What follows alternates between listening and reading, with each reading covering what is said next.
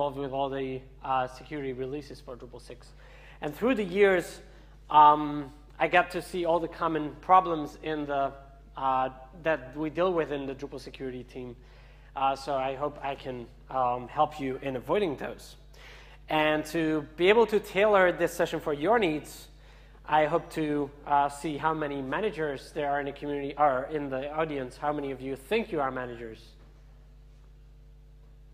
Quite a few, okay. How many of you think you're site builders? Very good. That's, that's the track we are on. Uh, how many of you think you're themers building themes for Drupal? That's not much. That's kind of interesting. Uh, how many of you are hardcore developers or not so hardcore but developers? Okay, that's very good. So I hope to have uh, content for all of you. And if the only thing that you gather from this session is to go and buy this book, then my mission is accomplished. Um, it's not written by myself, so it's not a shameless plug on my own. Uh, it's written by Greg Knaddison. It's called Cracking Drupal, Drop in a Bucket. And it's a very good book for learning about Drupal uh, security. It's for Drupal 6. It's not for Drupal 7 yet. As far as I've heard, it's being updated for Drupal 7. It's very good to learn the different problems, and especially if nothing else, you read, I think, chapter 8 where it talks about finding Drupal sites to hack into, how you hack into Drupal sites, uh, different techniques, and then how you uh, prevent those. It's very insightful, and you'll learn a lot about how, how, how you can look as a, as a third, uh, third party on your websites and see, see it from a distance and find these problems. Uh, of course, uh, you think you're probably affected and you need to know about this, but a lot of people ask this am I really affected? I'm like I'm running a small blog here or a small e-commerce shop and nobody's interested really in the data that I have here. And the answer to this one actually is that people look for all kinds of data on the internet. If they can hack into your site and you're a minuscule small site somewhere on the internet, they might still be able to get your, get your user account database and be able to use the same user accounts on Facebook or on Twitter or somewhere else where it's more valuable or hack into someone's uh, Apple ID or Amazon.com account. Because many people use their use same uh, credentials on all kinds of websites. So even if your site is just a small a bit in the ocean somewhere, you can easily have valuable data for people to get, uh, even if it's just data on other people. And the other uh, reason that you uh, might be concerned is that with very simple holes, your administrator user can be taken over, and that means anything can be done with your website. And that's pretty serious. And I will show a few ways to do that on a Drupal site if it's not, uh, if it's not operated properly. Now, I chose to use a framework for this session that's based on the Open Web Application Security Project top 10 security, uh, top 10 uh, um, uh, risk list, right? So they looked at all the risks that websites are uh, facing on the internet and put up a top 10 list of what are the most important ones and what we should uh, take into account first and foremost. And I'm trying to uh, put the Drupal security practices into this framework so you have a, um, have a common framework to compare the Drupal solutions to and uh, kind of relate to what the industry thinks about these problems. I did not put all the things in order because I think the, the most important for us here to start off is number six, which is uh, security misconfiguration, because it's very easy to go wrong um, in that area. Anybody heard of the uh, WordPress.com attack that happened in mid-April? Anybody? No? It's kind of interesting. It was a big issue. I'm not picking on WordPress.com because it's our competitor, WordPress. No. Uh, this could just as easily happen to any Drupal site. It's not WordPress specific. The, the problem, the, the, uh, the reason that I, um, I come with this is because it was a huge scale problem with, I think, 20 million websites that are hosted there. So um, what they've experienced is that they've had a perfectly nicely set up WordPress instance and the attackers went in below WordPress on lower levels and gained root access on the servers and they and they uh, got access to the source code of all the custom source code that's not open from WordPress.com, and some of the customer data that was there, and took that and did something with it. We don't know. We don't know what. It, we didn't get a lot of information on what actually happened there. What we got is that it was an attack of the system under WordPress. It was attack outside of uh, WordPress's control. And when you're thinking about Drupal security, it's very important that whatever you do with Drupal, Drupal lives in a huge system. So there's a lot of things running around Drupal that you have on your server, and you need to take care about that uh, first. Um, it, matters, uh, it, it matters a lot what kind of tools you use to maintain and deploy your website. I would say you should avoid FTP at all costs. Anything that sends unencrypted information over the wire, you should avoid. We'll get, get uh, to the fact later that all, all, of you who have your open laptops might be sharing some valuable information about um, your accounts, but we'll see that. Um, check your client tool, whatever client tool you use where it stores the data. If you search on Google for, um, for um, Total Commander or Windows Commander, FTP uh, password tool, then you'll find tools that you can just upload a total commander password file and it will um, uh, uh, decrypt it for you and you will have access to all the passwords that are stored in that file. And you can just upload your password file online. So anybody who, who, ha who has access to your machine, like a virus uh, cracking in, can get all your credentials to all the sites that you're using with, uh, with Total Commander. Think about who do you share your server with. If you're running on a shared, uh, shared hosting service, who else is uh, putting software on that service? Who else is putting all kinds of other tools on that service? And think about what they have on there. Are you confident in who else you're sharing servers with? Uh, at one time, I've had my, my personal website at a, at a, um, um, at a shared hosting provider, and, and turned out I was uh, running with some hardline leftist parties, like political parties. I was running on the same server, and I was kind of concerned that if somebody would like to attack them, what happens to my data? So think about that. If you're running other apps, that could be pretty, uh, pretty problematic. There's uh, forum software out there like PHP BB2 that's historically very vulnerable to security issues. So even if you perfectly secure a Drupal website, everything's perfect on your Drupal website, there can be other tools that can, can be used to hack into your uh, web presence. Um, of course, uh, you can go even lower, the, the uh, OS layer, PHP, your SQL server, your keys to the server room, whatever.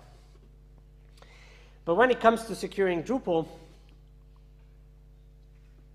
there's some very basic configuration things that you should think about. Uh, Drupal tries to help you pick a good admin password. Drupal 6 doesn't do a very good job in that. It like throws big red and yellow error messages every time you don't type the ideal password in the world. Uh, so admin is not a best password. Uh, keep in mind the suggestions provided by Drupal, but there's maybe better, better um, suggestions around the internet on picking strong passwords. Look at all the admin permissions on the site. If you give any of those out to anybody, your site can be easily taken over.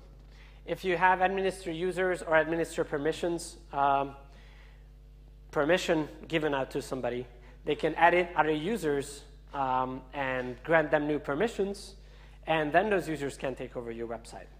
So a lot of these permissions are uh, opening up your system very wide to anybody who, um, who wants to uh, crack your data or your service. So think very wisely about who you trust those. Administer filters is a permission that looks very, uh, very um, uh, safe. It's like, yeah, it's filters, getting in data, and then putting out HTML. And we'll see an example soon that if you uh, pick this permission for some user, they can also take over your whole site. Because it's content coming in your service and administer filters about what kind of security process is put on that content, uh, to be uh, printed to the user, and that, um, that control can let people take over your website as well. Um, there's, uh, so the security team is hard at work in putting out fixes for all the modules that are on Drupal.org. There's thousands of modules. and there's a lot of work in, in putting that out. So if you want to uh, maintain, or not if you want to, but you should maintain your Drupal website to be up to date with all the security updates. And Drupal uh, has the built-in update module for that, which you can enable, and it can alert you by email about latest updates to your modules. So it's very easy to do. I would suggest you do that. Um, and the other thing to note here is that for those, for those new versions that are coming out, we have a standard to do those on Wednesdays. The reason for that is uh, so we have a predictable schedule for all the important security updates that you need to make to your website. We put those out on Wednesdays. So if there's no security releases for your modules on Wednesdays, you can go on holiday on the Thursday and come back on the Tuesday. Uh, we let you go to the beach and, and sip mojitos. Uh, but on Wednesdays, uh, any module can have a security release. Also, it lets you have some QA time with your website until you need to leave for the weekend, of course. So we have a process in place for informing you, and we have a process in place for making the releases predictable.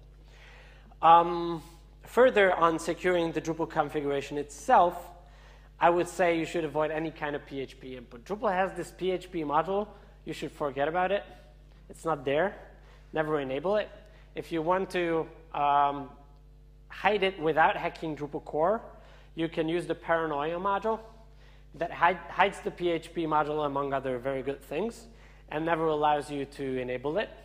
It also hides itself so people cannot uh, disable Paranoia module. It also does all kinds of other things to improve security on your website. So I think it's a very worthy module to, uh, to look into using. As I've said, you should watch your input formats. Uh, one of the uh, great things, or one of the interesting things about input formats is that they come with standard help text. So when you enable some input formats, they come with standard text like this uh, this field allows you to enter any kind of HTML input, or these tags are allowed, and it lists all the tags. Now, this, these very standard tags can be Googled, and we can search for sites that are vulnerable to certain um, uh, injections of data. So we can look for the standard tags and uh, find websites that we can enter malicious data into and, and hack into. So if you, if you enable uh, full HTML input, for example, for anonymous users, then you can easily run into um, problems where people Google your site and then enter data and they already hacked your property. There's the security review module which runs, runs through these things that I've said, most of these things that I've said, and many more that help you um, have a good check of whether your site's configured securely or not. But these are some of the uh, rules that you should follow. Now, to go back to the first, um, first point in the um, OWASP list, uh, it's about injection. There's many kinds of injections in, in web security. I'll talk primarily about um, SQL injection here and hopefully get you a comfortable feel of how Drupal tries to protect you uh, from that. Uh, SQL injection is very simple. You have, you have your web address and there's some data coming in there. And if somebody puts in uh, uh, number there, it means that it updates your value to that number. But if somebody puts in malicious data there, like uh, they end the quote and then they do something to update the user password in that table, or they do a select on another table or do an update on another table, that could be pretty dangerous. So what we do in Drupal is we protect that, or we force that kind of data to be of certain type and that type, in case of Drupal 7, is introspected from the database schema. So we look at the database schema and we realize that that value should be a number, and we convert that value to a number at that place. And we ensure that there is no um, unintended data to go in there. If you need to have your dynamic table names either in your modules or in your themes to be protected in this way, look at the DB escape table function. So the injection um, problem that I, I just explained is basically about data coming in right from the web request and right into, in this case, an SQL query and running through there. But the same can happen to any kind of data that comes from another database table or an XML file or an RSS feed. So just don't assume that the data is coming always from the URL. The important part is to always treat the data that's coming from somewhere that you don't trust as potentially um, an attack, and uh, to, at the place where you use the data, ensure that you use the right format. Now, as I've said, I have a few code examples in my session, and one of the points that the, um, that the um, Drupal security book makes is that most of the vulnerabilities on Drupal sites are in themes, okay? So people download modules, and those modules are pretty well uh, controlled, and we put out security releases for those modules, but themes are custom made for your Drupal websites. And most of the problems come, come from themes. So even if you, even if you think you, you are just building themes, it might be the most dangerous uh, thing to do for a site's security. Much more interesting is number two is cross-site scripting, uh, abbreviated XSS, because CSS was already taken um, is a very similar problem, but this time eh, we are not injecting data to an SQL query, we are injecting data to the HTML output. Uh, that data can come from the query, can come from the request, the URL, either a form or a query string or somewhere else. And we are just printing it out. Or it can come from data we stored previously, like the node title. Drupal, store, Drupal usually, usually stores data without any filtering on it. So we store the data, and when you use the data in your theme, in your module, in your view, in your whatever, you're responsible for sanitizing that data and making it secure. Okay? So the node title can contain any kind of data that breaks your site or makes your site vulnerable. If you just put the node title in the output, print out the node title as is in here in a theme, then it's going to be vulnerable. So we made a lot of things accessible in themes and in preprocessed functions that are already secure, like the dollar title variable, which is already made secure. But if you're going deep in structures like the node title uh, property, that is insecure. Giving full HTML access or uh, trusting people to enter unsafe tags is a similar problem. And um, cross-site scripting might not look like a big, pro big problem at first, it's just injecting stuff to your web page, how can that be serious? Um, White Hat Security put out a research paper, I think that was uh, this March, yes, and they estimated the, um, the likelihood of cross-site scripting on any website as 64%. So that your website has a cross-site scripting issue, you have 64% chance, okay? So your, your website likely has a cross-site scripting problem. Now, if your website has a cross-site scripting problem, like printing out the node title, or uh, you're uh, granting full HTML access to people who cannot be trusted, or those people can uh, enter unsafe HTML tags, or you grant uh, administer users permission or administer filters permission to people who, don't, who shouldn't have that, then those people can do this to your site. So this is a code sample that's, that was posted by Heine Deelstra, the Drupal security team lead, uh, way back.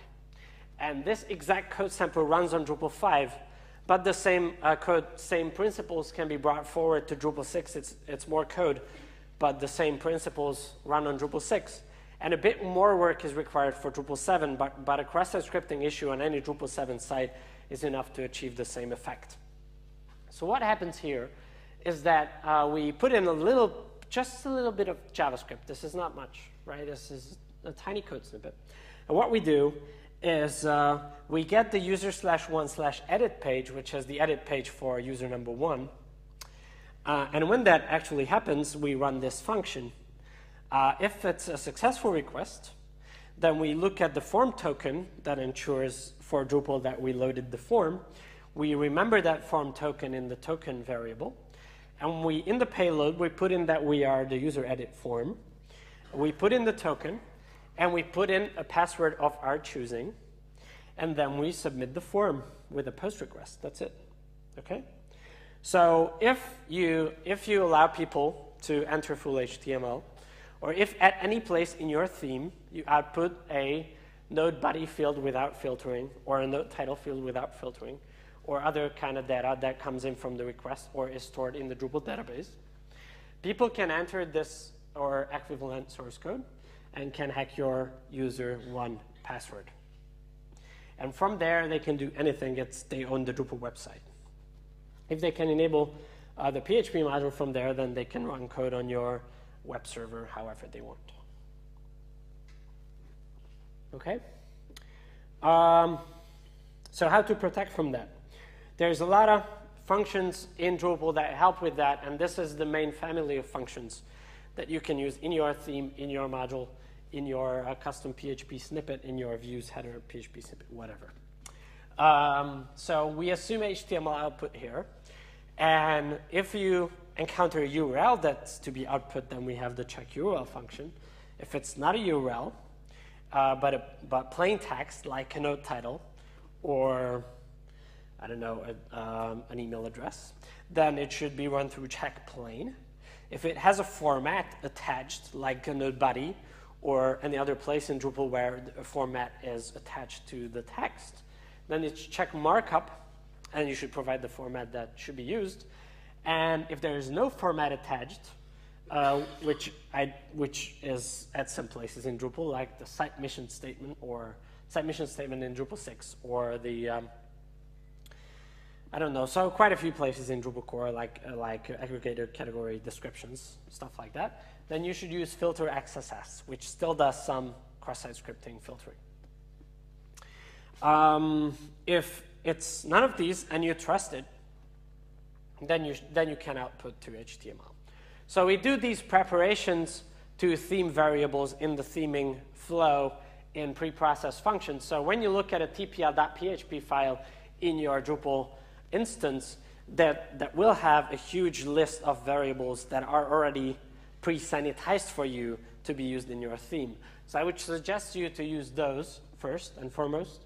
And if you really need to have custom data in your themes, in your modules, then look at, look at these functions. We also support this um, with our localization infrastructure. So we have the tn format plural functions which automate calling of check plain and, um, and the placeholder theming functions. So you can use the translation function to compose a text uh, snippet that has these, this kind of filtering in there, and it still reads like name has a blog at URL, and the URL is filled in uh, proper and the name is filled in proper. Same is available in um, HTML, uh, in the JavaScript for uh, Drupal.tn, Drupal.format plural. But not all output is HTML. So this, uh, as I've explained, was all the ways to filter text for HTML presentation. But you will also do stuff like sending emails or building data for other uh, output formats. You should always consider the escaping for those places, like for sending HTML, depends on whether you send HTML email or plain text. If you send plain text email, Drupal has a function to strip all the uh, text from the HTML and format it uh, sensibly for sending it an email. So think about the kind of input you have, whether it's already sanitized if it's not sanitized, think about the type of format that it has, and then apply the sanitization uh, appropriate for the output format that we assume to be HTML before, but can be any other format as well. Uh, number three is authentication and sessions. Um, it, it's basically about weak password storage, uh, and account management, or session hijacking, uh, or lack of session timeout. And Drupal already has pretty well, pretty well cooked solutions for this, so you don't need to care a lot about this uh, problem. We do store passwords hashed, and we are increasing our security with every release. So Drupal 7 increased on this from Drupal 6. Um, we do change session IDs when people are, uh, are logged in or logged out, when permissions change. Actually, uh, in fact, when permissions are heightened. So whenever you have, uh, whenever you get new permission, we change your session ID so we can avoid you being trapped in a session hijacking problem. Uh, we do work on top of SSL, and we do have some support for SSL that we'll see later. And we do have some nice modules for that, which we'll also say later. Um, number four was insecure direct object references. And that's, again, very simple for Drupal, actually. It uh, looks like a similar code example I've had for injection, But in this case, what happens is that I'm putting in a number and I'm just getting data for that kind of value. And I'm not checking whether the user has permission to have access to that value. And there's a lot of thinking to go in there uh, when you're building a Drupal site.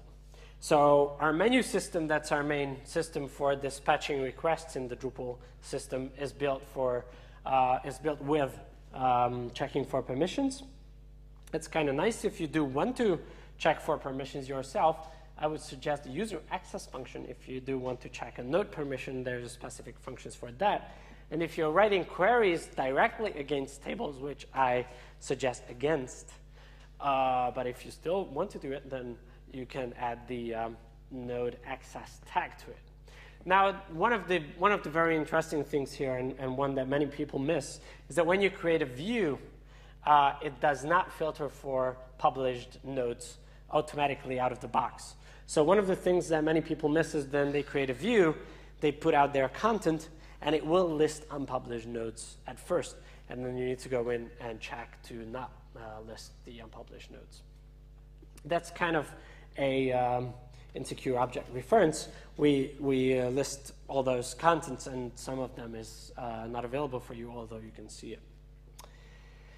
Uh, one of the more interesting problems is cross-site request forgery. That's called cross-site, but it can actually happen uh, on your site.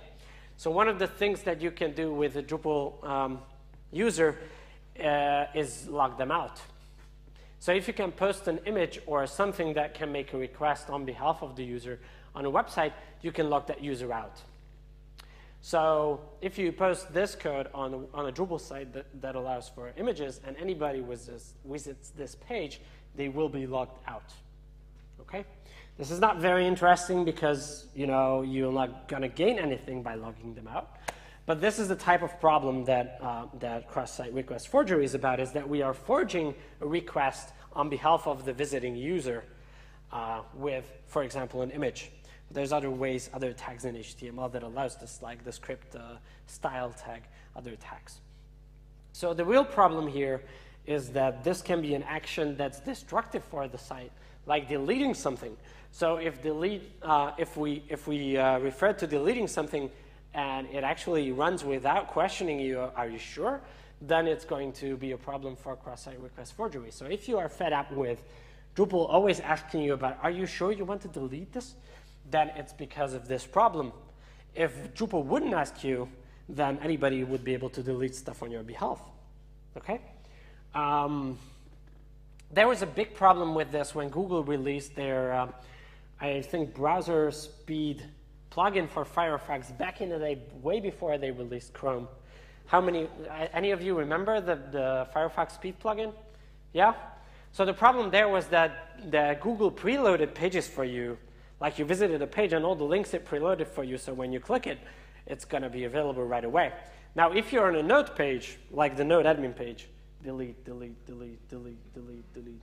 Whoops, that would be a problem. So uh, so this is, a, this is a problem for anything that does not check or does not ask whether, it, whether you actually wanted to do it and just does right away. Some modules do this. So there's some uh, quick voting modules in Drupal where you just click something and it happens. And those might be vulnerable to uh, hacking this way. Uh, and then you need to decide whether you want to have a, a quick voting system or a less gameable voting system. Um, so the Drupal approach to solve this is that we, we uh, work with uh, uh, post submissions by default, which makes it harder to do this kind of uh, work. Uh, we include tokens in the form, so people need to download the form first. That includes a token, and when you submit the form, you need to submit the token with it as well. And we check validity for that. And we do provide APIs for those who want to have one-click links that have tokens so that it is somewhat harder to break. But if you have a cross-site um, scripting problem, then none of these will help you. None. Uh, number seven is insecure cryptographic storage, which can happen with your custom data, but Drupal does do a good job of uh, handling this for all the data that it handles itself. So as I've said before, we use uh, one-way hashes to store passwords, so they cannot be uh, cracked as easily uh, backwards. We do provide a randomly generated private key on every website that is secret in your uh, variables table to use for custom encryption. And we do have a, uh, quite a few modules for you to encrypt data. And um, I, I, don't have uh, a concrete suggestion on there what modules to use. There's multiples depending on your needs. Uh, but a lot of people are making backups at places. I've seen people sending backups by email to themselves. And yeah, and uh, and if you don't ensure that those backups are safe, those backups cannot be copied, then whatever we do on, on your database, it's not going to help. So, so be sure to look at your backups and who can access those backups because that can easily be a problem as well. This is the environment around Drupal that we don't often think about, but is very important. Uh, number eight is failure to restrict your access. We sort of touched on this before. Uh, our menu system uh, handles that. Uh, it's your responsibility to configure the permissions on your Drupal website to be proper. And the security team has a guide on this that I will link to later. Uh, and it's your responsibility to configure your views proper to um, not list unpublished data. Uh, number nine is insufficient transport protection. And at this point, I would like to ask uh, uh, who heard of Firesheep? Some of you, okay. So Firesheep is a very nice tool. So any of you who have your laptop open can go and download Firesheep. It's a free Firefox sidebar plugin that you can download to your machine. And what it does is that you turn it on, and it collects or it looks at data happening in this open network. So anything that's happening on an open network, or no, actually we don't have, don't have an open network here, right? So if you walk into a bar that has an open network and you just flip up your laptop with Firesheep on it, you can look at the data that's flowing on the open network. And what Firesheep does is it makes very simple for you to uh, capture meaningful parts of that data. So it looks at that data and it searches for website login information, for example. So it can find the uh, Facebook credentials for, for the uh, person that's sitting next to you or, or at the other end of the bar. And it will actually, it will even show the Facebook profile picture of the guy. So you click on that, and it opens a browser for you that is logged into that guy's Facebook profile. Okay? And you can do whatever in the name of that guy. And the reason for that is, uh, and, and, the, and the reason for that is twofold. One is that the network is open. Uh, that is a, a, very good sign is that they are not asking for a password. And the second reason is if that Facebook profile was accessed on an HTTP connection, it's not encrypted. So if the network is open and the, and the data itself is not encrypted, then you can actually break into that uh, connection and then grab the user session ID, and from there you can do whatever in the name of that user. Uh, that's pretty powerful. So um, when you go to a bar, you should ensure that it either has good um, protection for the wireless that you're running with, or you have like a VPN to connect to before you do anything. Um, and on your Drupal site, what you can do is that you can try and run your Drupal site on full SSL, which is expensive, uh, but it's, it's being introduced in most of these high-profile websites for this reason because uh, breaking into these accounts is, is simpler by the day. Um, or what you can do is to try and secure some of your web pages, like what we do on, on DrupalGardens.com is that we're running with a set of these models um, to secure the login process itself and then secure whatever action you want to do on your account so that those actions are uh, protected from the outside. So secure pages is for uh, setting some of your web pages to be forced to run only on SSL. So like your user login or user edit pages would only run on SSL. And secure pages prevent hijack is about uh, trying, to trying to prevent hijacking that session cookie that you get when you log in, which becomes unsecure when you visit the other pages on the site. And this sets a secure cookie additionally to the insecure cookie and ensures that you can only browse the site if you have both. Um, there's a very good example of setting up these modules in a good uh, um, constellation on the DrupalScout.com website, and I would suggest you it's very easily findable with the uh, when you navigate to the knowledge base, so you don't need to write all that down. And, and these videos will be available, and my session slides will be available, so it should be good. It's also important to not just secure your website, but also use a valid certificate. If people are used to your website downloading and spitting out an error message that the certificate is invalid, then uh, if somebody uh, performs a middle, a man-in-the-middle attack and replaces your certificate and presents a different website uh, in, your, in your website's place, then they will not notice if your site is always popping up an error message of an invalid or expired or self-signed or whatever certificate, okay? So make sure that you have a valid certificate on any website that you value. Um, and finally, number 10 is kind of interesting. The last time I've had this session, Drupal still had vulnerabilities in this area. Uh, and I was kind of trying to uh, go it low. Um, the um, unvalidated redirects problem is that you have a link that looks like it goes to example.com, but it actually redirects to evil.com. And I can put anything at the end of the URL and it will redirect there. So Drupal used to have this problem, I think, a year ago or so.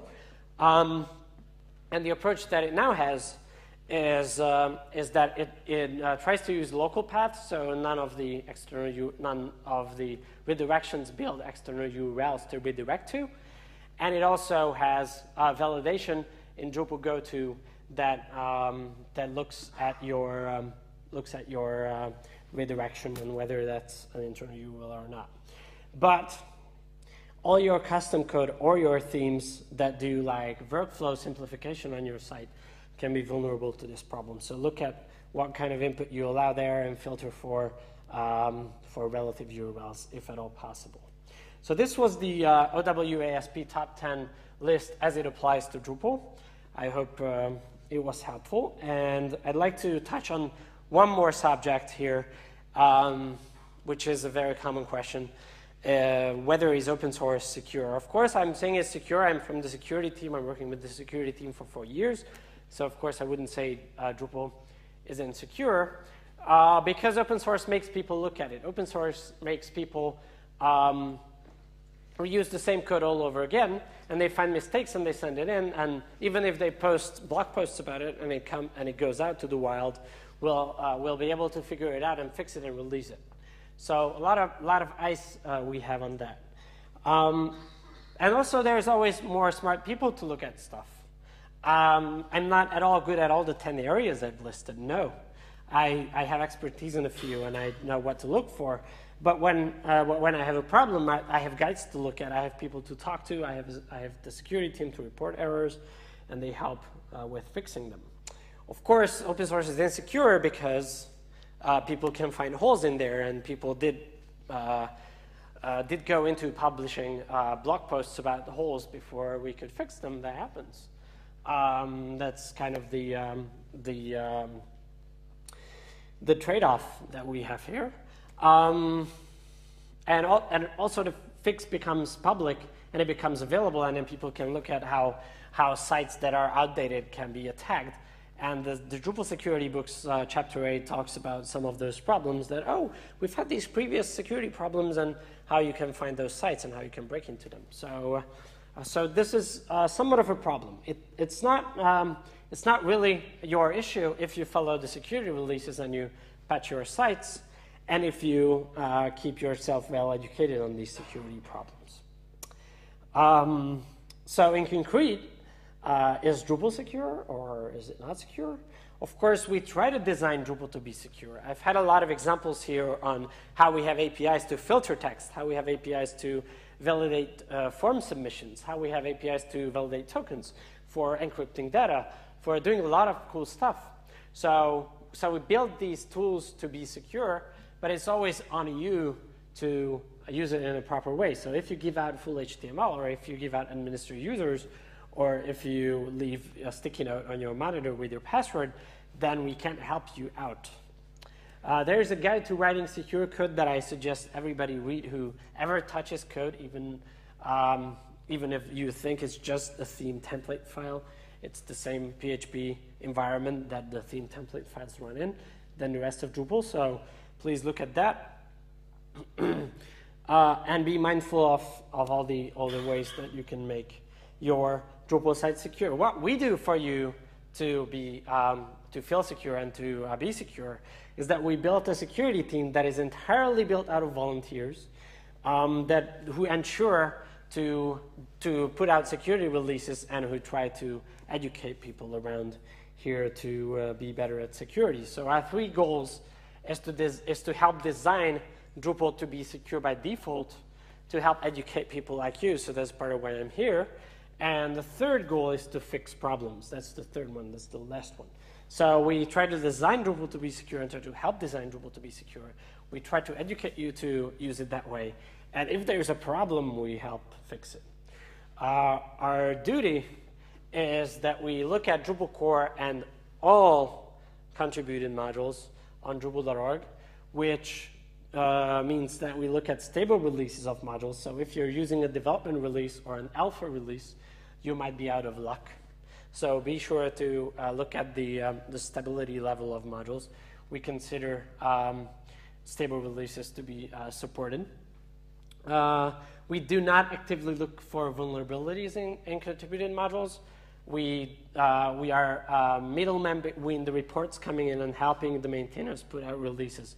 So we, we look at, we assess the vulnerability that's coming in, we contact the maintainer, and we work with the reporter and the maintainer uh, to put out the release uh, for, um, for the module or the theme in question.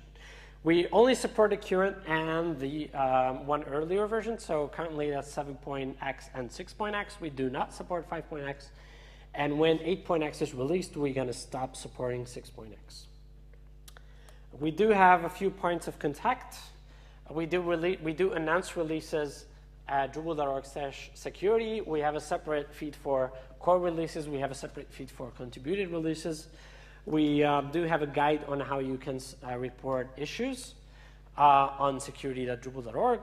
We do have a guide on how can you report cracked sites, uh, but it's very helpful if you can provide data to us on how we can reproduce the problem so we can actually fix it. And there's a, there's a discussion group on groups.drupal.org called Best Practices in Drupal Security uh, that should be helpful if you have uh, more detailed questions. And finally, let me once again suggest the uh, Cracking Drupal book. It's very good, especially Chapter 8. So if you haven't yet gotten around to reading this book, you should. Um, any questions unless I'm out of time?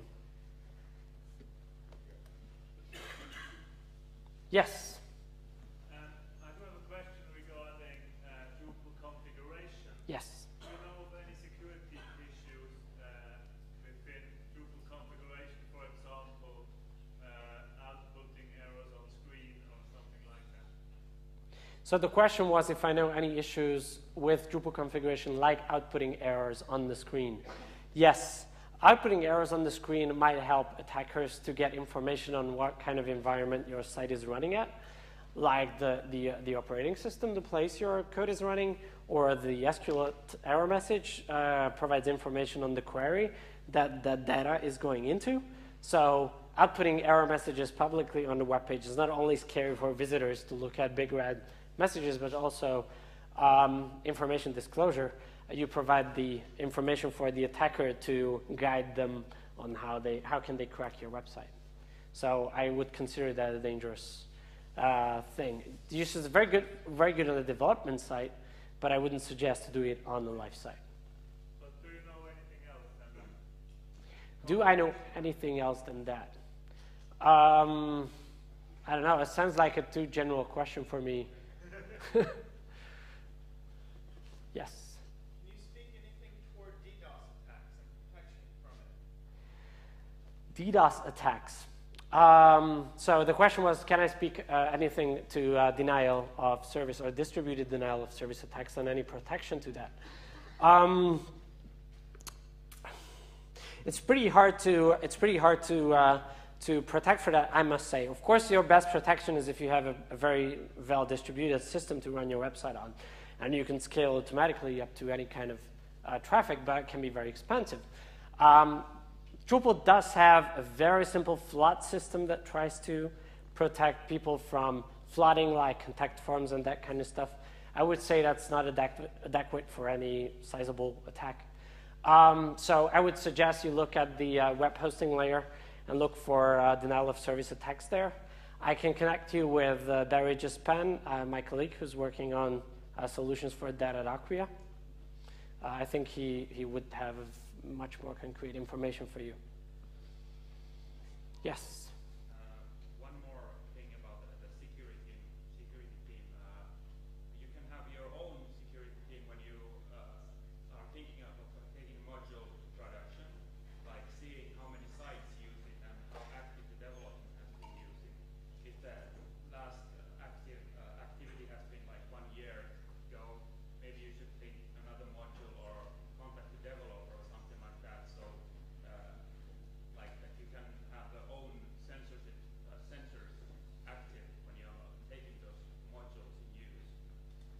Yes, so the, the suggestion was to uh, have your own inner security team in you uh, to, uh, to look at the modules and the available code uh, with a critical eye.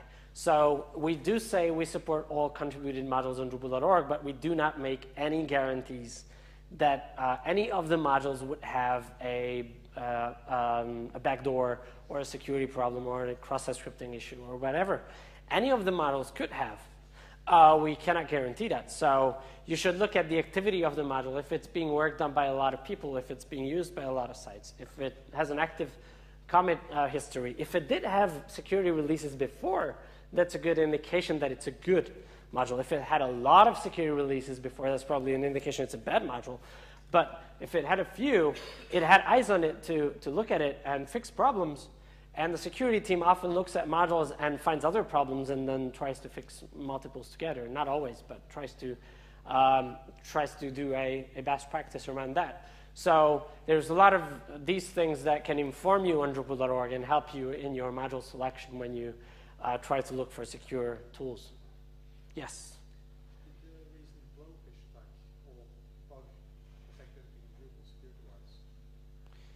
The question was if, uh, if the blowfish bug affected Drupal uh, in any way security-wise, and I don't know the answer, unfortunately. Sorry. Yes?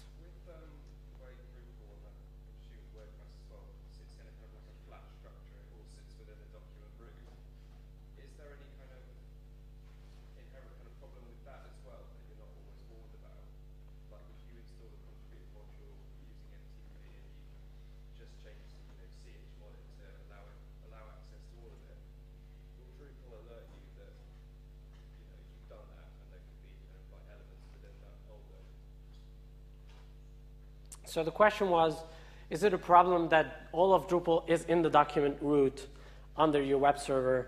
And is it, is it uh, something that Drupal warns you about when you like upload something with FTP or, like, or SFTP, whatever, you upload a new module to your site and you change permissions on that or something? Uh, I, don't, I don't think Drupal will warn you on changing the permission on the doc root or on the modules folder.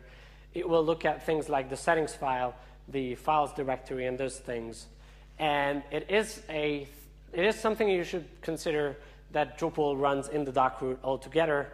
People can upload stuff there, and Drupal tries its best to protect uploads and rename uploads to have different extensions so the web server will not run them. And there is a, there is a, um, a big issue for Drupal 8 to move most of the core stuff into its own directory. So all the stuff that is uh, modified by Drupal, like the files and profiles and those things and custom modules are in a separate place from the rest of Drupal core. So you can keep the rest of Drupal core untouched and you know where to look for things that are modified. Um, and of course, there's uh, the Drupal 7 feature to separate the private files from the public files so that you can keep your public files in the document root and keep your private files outside the document root if you want to. And those not going to be accessible from, from the web server, even if your server is not reading your htaccess file that is there. So there's a lot of considerations around that. Uh, it, I would say it's ongoing. to secure that, and we probably gonna improve on, on that in Drupal 8. I've seen the issue that's separating the user modifiable and the core distribution parts of Drupal to different directories. It's set to be uh, going to be committed somewhere later this year, but it's breaking so many patches because it moves around everything that it's delayed for the fix-ups in Drupal 7 to, to get in, and then we can like make even more bigger changes in Drupal 8. Any other questions? Nope, then thank you. Thanks for being here.